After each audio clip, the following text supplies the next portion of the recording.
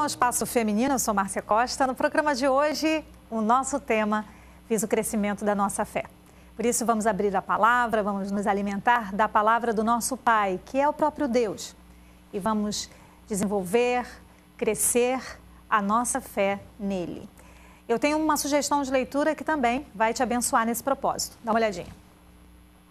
Ah, ele é assim. Ele não vai mudar. Ela sempre foi desse jeito. Não espere mudanças. Essas são algumas das declarações que muitos casais fazem um do outro e que revelam tanto uma atitude quanto um desejo. No livro Como Mudar o que mais irrita no casamento, você poderá comprovar que é possível promover mudanças saudáveis no casamento sem chantagens ou joguinhos, mas com inteligência, compreensão e sensibilidade. Como Mudar o que mais irrita no casamento, de Gary Chapman. Será um grande guia de aprimoramento para sua relação conjugal. Boa leitura. Então, é, qual é a vida que Jesus deseja para mim? Você já se fez essa pergunta? Porque essa pergunta ela é assim muito apropriada e ela é uma pergunta que precisa estar constantemente é, sendo feita para que a gente possa estar é, tá fazendo uma comparação é, precisamos estar dentro da vida que Deus planejou, que Deus desejou, que Deus preparou para que vivêssemos. E é muito importante que isso, essa pergunta, ela permeie todas as nossas decisões e nossas escolhas. Porque quando você está aí diante de alguma escolha, você tem que escolher entendendo assim: Será essa escolha a escolha de Deus para mim? É, há aí uma consonância com a vontade de Deus para que essa escolha é, que eu posso fazer ela seja feita? E tudo isso vai estar dentro da vida que você está levando. A sua vida, ela é resultado, ela é fruto das suas escolhas. As nossas vidas, elas são realmente o resultado daquilo que escolhemos. Daqui para frente, se você puder ficar muito atenta a que suas escolhas estejam dentro dos planos de Deus, para que essa pergunta, quando você se deparar com ela, qual é a vida que Jesus deseja para mim, ela possa estar sendo respondida. É essa vida de paz, de ânimo, de fortalecimento, de crescimento. É a vida que Jesus realmente preparou para mim, desejou para mim e eu estou acatando. Porque, na realidade, assim, é, ele deseja essa vida, uma vida de paz e não de mal. Lembra de Jeremias, no capítulo 29, o versículo 11? Deus tem planos de paz, ele não tem planos de mal. Ele tem planos de paz para nos dar o fim que desejamos, ou seja, para nos fazer viver ah, os projetos, as, os sonhos dele, a, aquilo que ele deseja, que é sempre perfeita. A vontade dele é sempre boa, é sempre agradável e ela é sempre perfeita. Deus tem muito bom gosto para a vida. E a vida que ele preparou está baseada nesse bom gosto. Está baseado na graça que ele tem por nós, no amor incondicional que ele tem por nós. Ele deseja, sim, mas basta que acatemos o que Ele deseja para a gente. E eu quero com você pensar nessa vida, nessa vida que Jesus deseja para a gente, qual é essa vida? Então eu pensei, é, porque tenho me alimentado muito da palavra de Jesus, de Mateus, no capítulo 6, a partir dos versículos 25 em diante, é, o texto fala de preocupações da vida. Esse mesmo texto você vê em Lucas 12, a partir do versículo 22 ao versículo 31. Nesse texto aqui de uh, Mateus 6, 25, e é o mesmo texto que existe em Lucas 12, uh, ah, a partir do versículo 22, que você possa ler, que você vá devagarzinho lendo cada versículo, meditando e pensando em cada versículo. E é muito bom. E nesse, nessa reflexão de hoje sobre qual a vida que Jesus deseja para mim, a gente vai colher daqui desse, dessa palavra, dessas palavras de Jesus de Mateus, capítulo 6, versículo 25, a, aquilo que esse desejo dele para minha vida. Então ele começa assim, olha, é não se preocupem com a sua própria vida, quanto ao que comer ou beber, nem com o seu próprio corpo, quanto ao que vestir. Aí ele pondera: olha isso. Por que, que eu não devo me preocupar então com essas coisas? Não é a vida mais importante que a comida? Olha como é que ele começa, Jesus aqui, colocando tudo no seu lugar, fazendo a gente entender as coisas de forma correta. Não é a vida mais importante que a comida e o corpo mais importante que a roupa? Observem as aves do céu, não semeiam, nem colhem, nem armazenam em celeiros. Contudo, o Pai Celestial as alimenta. Não tem vocês mais valor do que elas? Quem de vocês, por mais que se preocupe, por mais que se preocupe uh, por qualquer coisa, o que, que isso pode, essa preocupação pode acrescentar à sua vida? Pode acrescentar uma hora que seja? Por que vocês se preocupam com roupas? Vejam como crescem os lírios do campo. Eles não trabalham nem tecem, contudo, eu lhes digo que nem Salomão, eu digo isso às vezes quando eu vejo uma coisa bonita, e vocês pensam até que eu estou brincando, né? Mas, ó, palavras de Jesus. Mateus capítulo 6, versículo 29. Nem Salomão, em todo o seu esplendor, se vestiu como um deles. Se Deus veste a erva do campo que hoje existe e amanhã é lançada no fogo, não vestirá muito mais a vocês, homens de pequena fé. Portanto, não se preocupem, dizendo: o que, que a gente vai comer, o que, que vamos beber ou o que vamos vestir pois aqueles que não acreditam em Deus, os pagãos, é que correm atrás dessas coisas, mas o Pai Celestial sabe que vocês precisam delas. Busquem primeiro o reino de Deus. Busquem em primeiro lugar o reino de Deus e a sua justiça, e todas as outras coisas vos serão acrescentadas. Eu fiz questão de ler esse texto todo para você porque a gente vive uma vida muitas vezes sem dar a ênfase que a palavra de Deus merece na nossa vida, a importância, o valor que a palavra de Deus merece na nossa vida. E talvez você hoje não tenha parado para ler um versículo sequer. E é por isso que eu estou fazendo com que você é, pare esse tempinho para estar ouvindo essas palavras de Jesus para o seu coração. Porque essa pergunta sobre qual a vida que Jesus deseja para mim, ela é fundamental e ela está inserida nesse texto eu queria pensar em que vida é essa que Jesus ele deseja para mim. A primeira primeira coisa que eu pensei e que eu me alimentei e que eu tenho me alimentado nisso é que ele deseja uma vida mais focada nele do que em mim. Uma vida que olha mais para ele, uma vida que não se perde. É, com entrando em rota de confusão com as pessoas, uma vida que não se perde é, com olhando para o meu próprio eu é, e o tempo todo focada nos meus sentimentos. Estou sentindo isso, estou sentindo aquilo, estou sentindo aquilo outro. Ou é, é, tendo pensamentos totalmente influenciados é, pelas circunstâncias. Sabe, uma vida que olha mais para ele é uma vida que está focada e está direcionada para o alvo certo. Quando a gente olha muito para a gente, olha muito para o nosso umbigo e, e pensa muito é, no nosso sofrimento, na nossa dor, na nossa necessidade, é, é, essa vida ela fica focada e fica girando em torno de, de muito egoísmo e pouca perspectiva. Você quer olhar direito para você? Talvez você diga assim, mas Márcia, eu não sou importante. Você é. E como é que eu olho direito para mim? Como é que eu me acho realmente? Olhando para Jesus. Se você tiver o seu olhar refinado, como é que vai, como é que você vai refinar o seu olhar? Como é que você vai é, apurar o seu olhar olhando para ele? Quando você olha para ele, você se vê direito. Você não se vê como mais uma indigna, como mais uma pessoa é, débil, enfraquecida. Você não se vê mais é, péssima, horrorosa, é, incapaz, quando você olha para ele, você sabe direitinho que você, através do amor dele, da graça dele, da fé depositada nele, você é nova criação, você é sacerdócio santo, você é filha, você é bendita.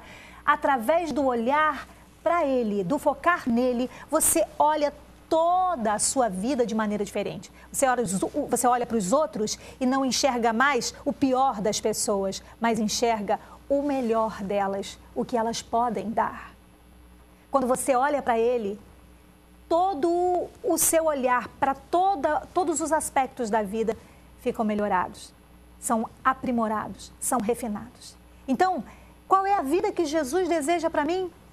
De novo, para você anotar se quiser, é uma vida focada mais nele do que em mim. Uma vida focada mais em Jesus do que em mim. Olha o que o próprio Senhor falou em Mateus, no capítulo 6, versículo 33. Busca, foca o teu olhar para mim, o teu olhar primeiro para mim e todas as outras coisas serão acrescentadas. Sabe o que ele está falando? Ele está falando o seguinte: você quer que a sua vida ah, tenha o êxito que você deseja?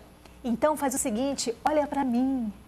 Olha para mim, porque aí você vai ter a compreensão certa, porque eu é que sei os planos que tenho a seu respeito. Isso são palavras do Pai para o seu coração. Inclusive, porque se olharmos para Ele, vamos uh, nos parecer com Ele. É olhando para Ele que acabamos é, nos identificando e nos tornando semelhantes a Ele. Inclusive no aspecto que Jesus mesmo deixou muito claro em João, no capítulo 10, é, quando ele falou que ele era o bom pastor, ele mostrou que ele veio para nos servir. E se ele está falando que ele veio para servir, qual é o nosso papel? se estamos olhando para Ele, nos tornando semelhantes a Ele, é de servir também. Então, quando olhamos mais para Jesus e vivemos uma vida mais focada no Senhor Jesus, nós entendemos que o nosso papel aqui é de servir como Ele serviu. Por isso que em João, no capítulo 10, o versículo 15, é, Jesus, quando ele fala, eu dou a minha vida, ele está dizendo assim, eu estou dando para vocês o exemplo do servir. Eu estou eu estou me dando para vocês. No versículo 18 de João 10, ele diz: Ninguém, ninguém tira a minha vida de mim, não. Ninguém torceu o meu braço e me fez morrer e, e, e vai me fazer morrer na cruz por, por vocês, porque eu estou sendo obrigada. Não, não, não. Ele disse em João capítulo 10, versículo 18: Eu, pelo contrário, eu a dou, eu dou a minha vida espontaneamente, porque nos amou. E em Mateus, no capítulo 20, versículo 28, Jesus falou que ele não veio para ser servido, mas para servir e dar a sua vida em resgate de muitos. Isso tudo para você continuar olhando para Ele. E se você quer se parecer com Ele, e servir como Ele, e amar como Ele, e estar em paz como Ele, Olhe para Jesus. Essa é a vida que Ele planejou para você. Ainda pensando sobre qual é essa vida que Deus deseja para mim, eu me alimento da resposta e quero que você também se alimente com a resposta que é uma vida que não se submete a esse sistema.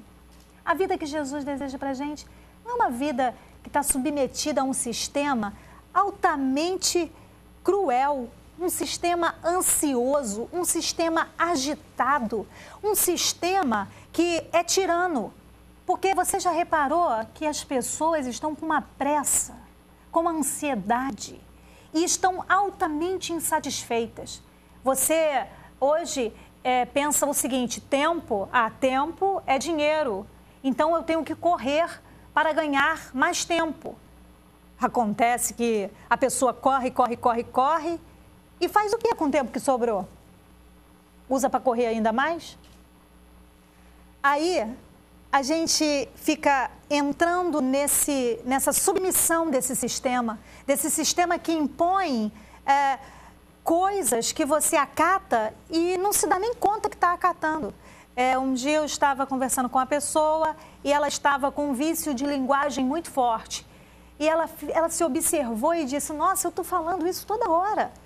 E eu disse para ela: é pelo meio que você está vivendo. Você está vivendo no meio que está ah, te ah, influenciando na tua forma de falar. E ela se espantou, ela disse: o quê? Não, não é possível. E depois ela veio confirmar comigo, dizendo: Você sabe que eu observei que eu convivo com alguém que fica com esse, tem esse vício de linguagem e eu absorvi isso. É um sistema que uh, te impõe e a, as imposições são, são muito subliminares. Você acaba ah, falando aquilo que é só uma reprodução, você acaba desejando aquilo que você não, não tem nem desejo mesmo, mas é porque foi incutido que você tinha uma necessidade quando você nem tinha. Sabe? É você achar que precisa e tem que comprar uma coisa e nem se perguntar, ué, eu estou querendo isso por quê? Que eu estou querendo isso? E se você for ver lá no fundo, no fundo, esse foi um desejo que foi criado para você desejar, quando na realidade nunca foi seu, foi desse sistema que vende, que vende a ideia de que você precisa de uma coisa, precisa trocar o carro, precisa trocar o celular, precisa trocar a roupa, precisa trocar o sapato, e você não precisa. Mas ele Escute essa ideia. Não, você precisa. O sistema que dita a hora, que dita a pressa, que dita o ritmo de vida, que dita é, que eu tenho que excluir pessoas, que eu tenho que é, a, a, me aproximar de pessoas. E você vai ficar submetida a um sistema que, que te priva até de pensar, que pensa por você. Não. Jesus disse em Romanos aliás, em Mateus, no capítulo 6, Jesus disse algumas coisas muito interessantes sobre essa submissão a esse sistema. Ele disse o seguinte, Mateus capítulo 6, o versículo 25. Não se preocupem com a sua própria vida, com o que comer, com o que beber. Não é a vida mais importante que a comida? No versículo no versículo 27, ele diz: Quem de vocês, por mais que se preocupe, pode acrescentar uma hora que seja a sua vida? No versículo 30, ele diz assim: Se Deus veste assim a erva do campo, que hoje existe, amanhã lançada no fogo, não vestirá muito mais a vocês? Sabe, um sistema que põe em dúvida essa palavra de segurança do Pai, porque quer que Deus é, seja uma marionete o sistema que diz assim para você: olha só, Deus tem que te responder rápido. Rápido. É. Deus tem que te responder rápido. Você tem que ser atendido imediatamente. Tem que ser a tua vontade atendida a tempo e a hora, no tempo que você quer. E Deus tem que se submeter a você e você tem que estar tá ali querendo, querendo mais, querendo mais. E esse sistema dita isso para você e você faz do teu relacionamento com Deus um relacionamento de barganha. E Deus não vai tratar contigo para te infantilizar. Deus não vai tratar contigo para te reduzir a uma criança espiritual. Sabe aquela história? Pum, fiz um bom negócio. Não, Deus ele não vai te mimar nesse sentido de te distorcer, de te corromper.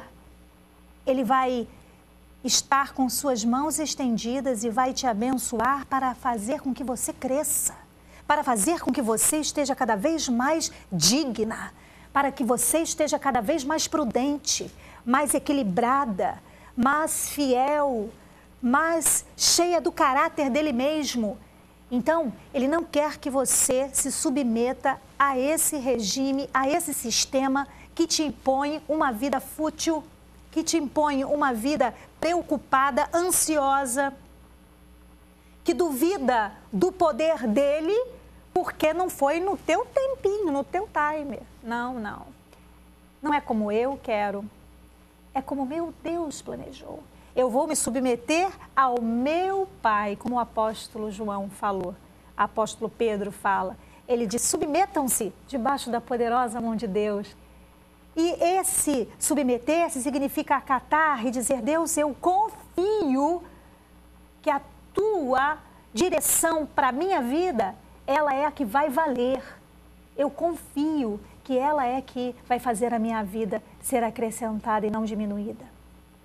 Uma vida que não se submete a esse sistema é a vida que o apóstolo Paulo coloca em Romanos capítulo 12, versículo 2. Não se amolde, não se conforme ao padrão deste mundo, mas transformem-se pela renovação da sua mente, para que sejam capazes de experimentar a boa, a perfeita e agradável vontade do Pai.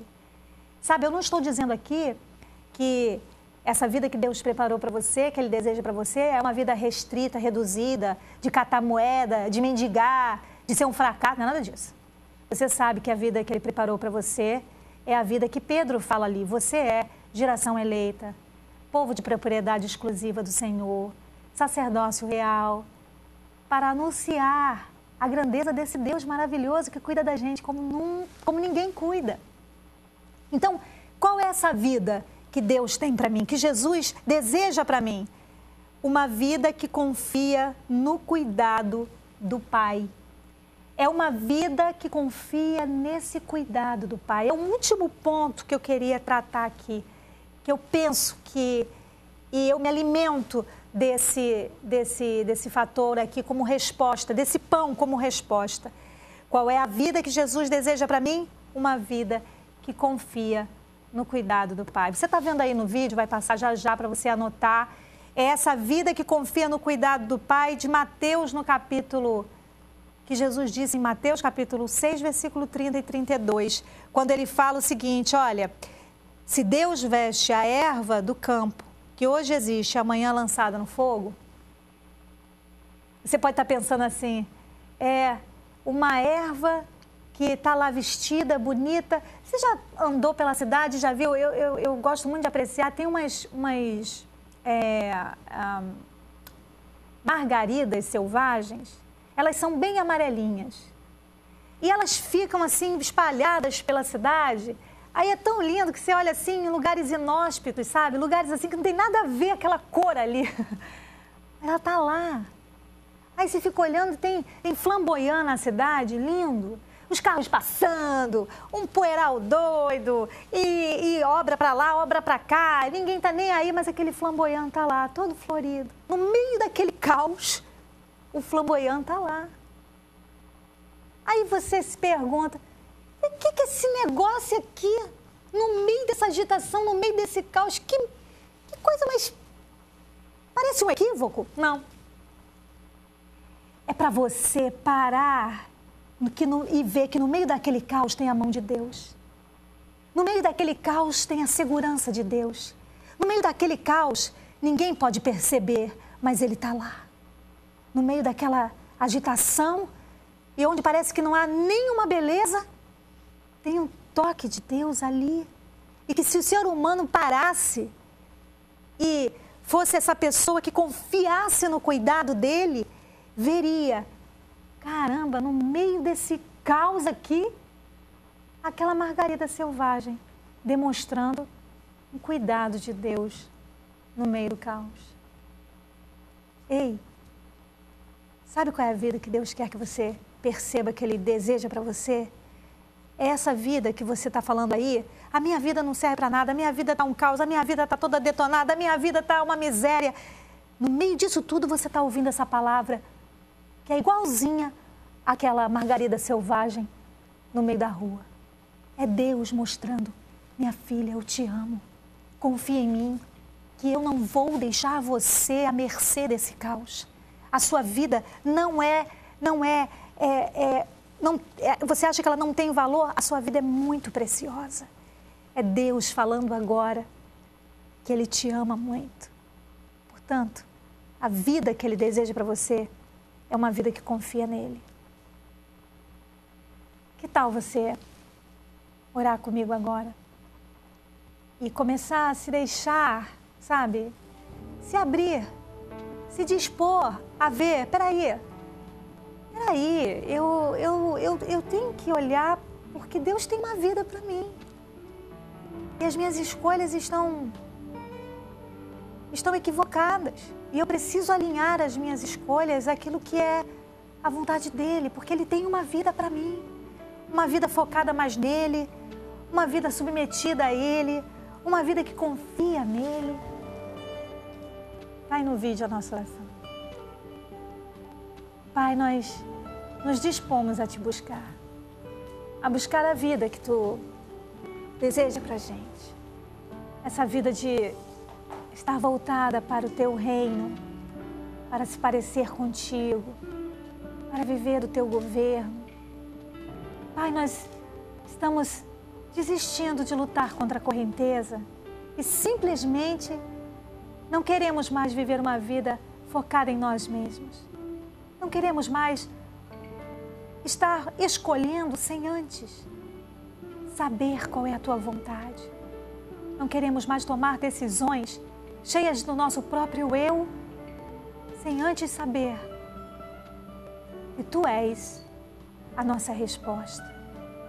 Pai, nós decidimos refazer várias coisas agora com respeito à nossa vida.